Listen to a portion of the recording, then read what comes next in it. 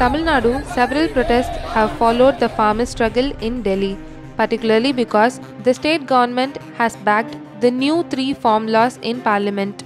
This received widespread condemnation from all opposition parties in the state. The left parties in the state have organized statewide protests in which many trade unions have also joined.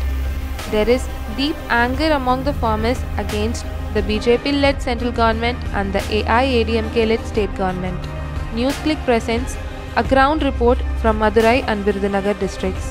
விவசாயி உற்பத்தி பண்ணுற பொருளை எங்கே வேணாலும் கொண்டு போய் சொல்லி இங்கே விற்கிறவன் அஞ்சு மூடை பத்து மூடை விளைவிக்கிறாள் பஞ்சாபில் போய் விற்க முடியாது இங்கே இருக்க கமிஷன் நெல் கொள்முதல் நிலையத்தில் போட்டு காசு வாங்குறதுக்கு தன்னுடைய கடன் பிரச்சனை உடனடியாக தீரணும்னு சொல்லி கமிஷன் அடைக்கு ஓடுற விவசாயி வச்சிருந்து விற்கிற அளவுக்கு விவசாயிகிட்ட அந்த இது கிடையாது ஆக வரக்கூடிய தனியார் பெருமுதலாளிகள் எப்படி வாங்குவாங்க? இன்றைக்கி பத்து ரூபா அரசாங்கம் ஆயிரத்தி அந்த கொள்முதல் நிலை எதுவே விட்டுறாங்கன்னு வச்சுக்கோங்களேன். ஒரு ஒரு பேச்சுக்கு வந்து அரசாங்கம் வந்து நிர்ணயம் பண்ணுறதில்ல தனியார் நிர்ணயம் பண்ணுவார் அப்படின்னு சொல்லி சொல்கிறாங்கன்னு வச்சுக்கோங்களேன். அது என்ன ஆகும்? பதினஞ்சு ரூபாய்க்கு கேட்டால் பதினஞ்சு ரூபாய்க்கு கொடுத்துட்டு தான் போகணும். அடுத்த விட ஒரு விவசாயம் பண்ண மாட்டார். வேறு தொழிலுக்கு போயிடுவார். இப்போ விவசாயம் என்பது அழித்தொழிக்கிறதுல இந்த அரசாங்கம் புதிய சட்டத்தை வந்து போட்டிருக்கு. இன்றைக்கி நாள் பல முதலாளி இருக்காங்க. ஒருத்தர் இல்லாட்டி ஒருத்தருக்கு வந்து நம்ம குறைச்சி கொடுப்போம்ன்ற எண்ணம் கூட வரும். ஒரு மனித நூறு முதலாளி இருக்காருன்னா ஒரு பத்து முதலாளி கூட ஒரு மனித விமானமாக போதும் நமக்கு அப்படின்னு வரேன் இப்போ ஒருத்தர்கிட்ட போய் கூகும்போது அவர் என்ன நினைக்கிறாரோ அதுதான் நடக்கும். பத்து பேர்த்திட்ட நாலு பேர் இன்றைக்கி கடைகள்லேயே போய் ஜாமியம் வாங்குகிறான் ஒவ்வொரு பொருளும் ஒவ்வொரு இடத்துக்கெல்லாம் ஒவ்வொரு விலை விற்கிது ஒருத்தர் குறைச்சி தர்றாரு. பத்து ரூபா நமக்கு லாபம் பண்ண நினைக்கிறாரு. ஒருத்தர் இருபது ரூபா கிடைக்கிற விற்கிறாரு. முப்பது ரூபா விற்கிறாரு. ஒரே முதலாளியாக இருந்தால் அவர் என்ன நிர்ணயம் பண்ணுறாரோ அதானே. அப்போ ஜனங்களுக்கு அதனால் நட்டம் தானே வரும். இன்றைக்கும் விவசாயிகளுக்கு ஒப்பந்த சாகுபடி விவசாயம் இருக்குது நாங்கள் இந்த ஒப்பந்த சாகுபடியில் கூடுதலான காய்கள் பெருசாக இல்லை அப்படின்றத ஒப்பந்தக்காரங்க சொல்லுவாங்க. கொஞ்சம் குறைச்சிக்குங்க அப்படின்னு சொல்லுவாங்க. இல்லை நல்லா வந்துருச்சு. எங்களுக்கு கூடுதலாக கொடுக்கணும்னு கேட்டாலும் கொடுக்க மாட்டான். இதுதான் இன்றைக்கி கார்ப்பரேட் கம்பெனிகளாம் கார்பரேட் கம் நாங்கள் அவங்ககிட்ட பேசுவோம். ஆனால் கார்ப்பரேட் கம்பெனிகிட்ட போய் பேச முடியுமா? நீங்கள் வழக்குக்கு போங்கன்னு சொல்கிறாங்க யார்? இந்த ஒப்பந்தத்தை மீறினா நீங்கள் வந்து கோர்ட்டுக்கு கலெக்டர்கிட்ட போகலாம் வர வருவாய் கோட்டாட்சியர்கிட்ட போகலாம் அதுக்கு மீறினா நீங்கள் கோர்ட்டுக்கு போகலான்னு விவசாயிகளுடைய நிலைமை வந்து இருபத்தி நாலு மணி நேரம் காடும் வீட்டுக்கும் காட்டுக்கும் வீட்டுக்கும் அலைஞ்சிக்கிட்டு இருக்கக்கூடிய ஒரு தொழில். விவசாயங்கிறது சாதாரணமாக தெரியும். ஆனால் விவசாயங்கிறது வந்து ஒரு மோசமான தொழிலாகத்தை நாங்கள் பார்க்குறோம். கஷ்டப்படக்கூடிய தொழில். நல்லது கெட்டதுக்கு போக முடியாது. உதாரணத்துக்கு இளவு கூட போக முடியாது. சொந்தக்கார வீட்டுக்கு போக முடியாதவன் இளவுக்கு போக முடியாது. கோர்ட்டுக்கு எப்படி போக முடியும்? அப்போ இது வந்து விவசாயிக்கு பொருத்தமான சட்டம் இல்லைங்கிறது தான் எங்களுடைய நோக்கம்.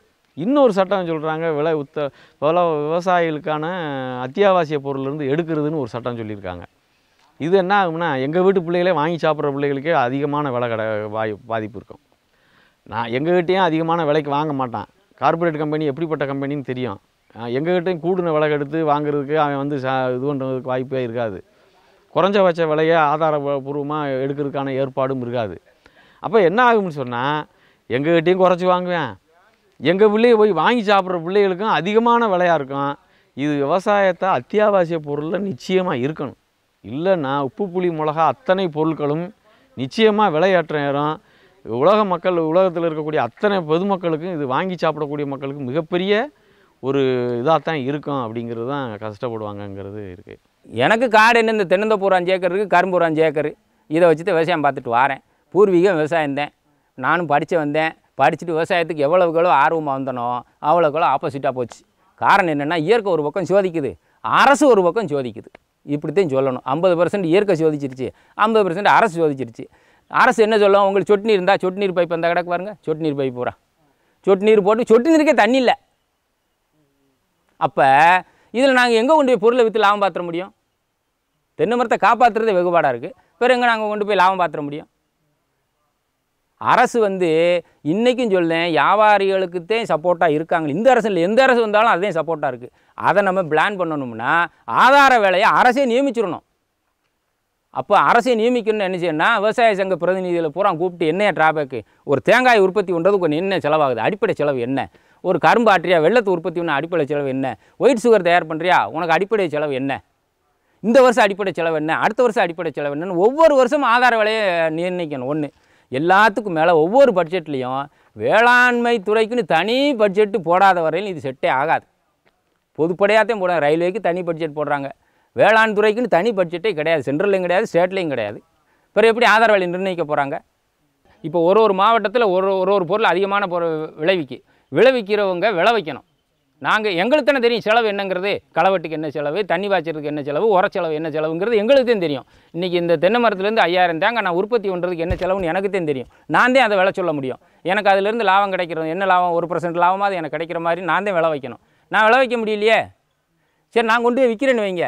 வாங்கினா தானே போச்சு நீங்கள் கூட்டாளி வாங்கலைன்னா அந்த பொருளை நான் என்ன செய்ய கொண்டு போய் திருப்பி தான் கொண்டு வரணும். அது ஒன்று ரெண்டாவது இந்த பொருளை கொண்டு போய் நாங்கள் விற்றுக்கிட்டே இருந்தோம்னா இங்கே உண்டான வேலையை பார்க்குறது யார்? இங்கே உண்டான வேலையை பார்க்கணும்ல அடுத்து தண்ணி பாய்ச்சணும் அடுத்து உழுவணும் அடுத்து உரம் வைக்கணும்.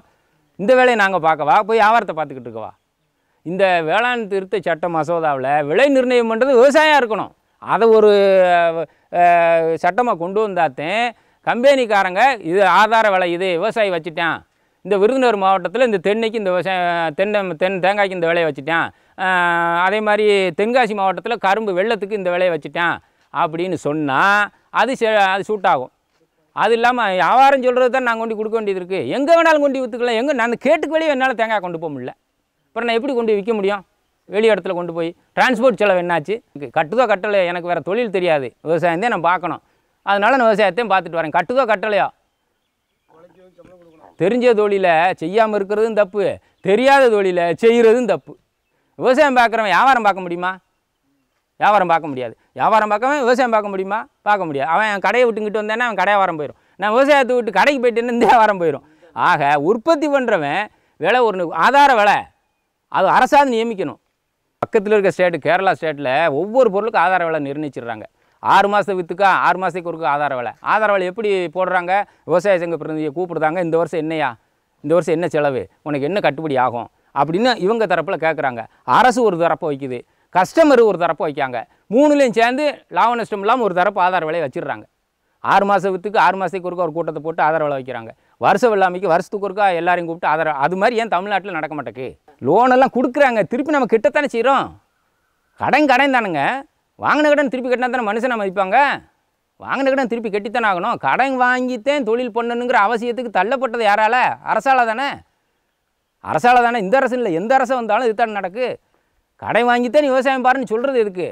உலகத்துக்கு சோறு போடுற விவசாயி கடங்காரனாக தானே இருக்கும்? கடங்காரனாக தானே ஆக்கிக்கிட்டு இருக்கோம்.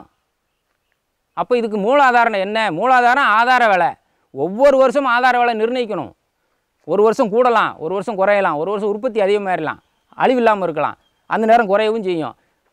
உற் உற்பத்தி அதிகமாக இருந்த இடத்துல அழிக்கணும்ல? விலை குறைச்சா தானே வாங்குவாங்க? பக்கத்தில் இந்த பிரச்சனை வரமாட்டேங்கல விவசாயி தூக்கு போட்டுக்கிட்டேன் விவசாயி எலிக்கறி தின்னிக்கிட்டேன் விவசாயி மருந்து குடி செத்து போனான்னு வரமாட்டேங்கல ஏன் அது ஏன் வரமாட்டேங்குங்க? ஆ அதே அரசு தான் காரணம். அரசு தான் காரணம்.